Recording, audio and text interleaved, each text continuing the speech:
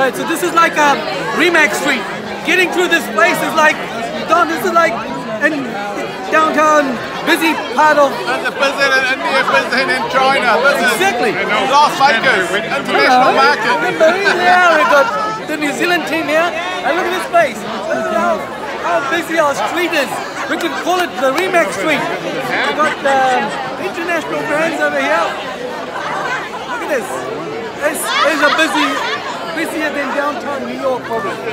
Alright, this is a RE/MAX experience.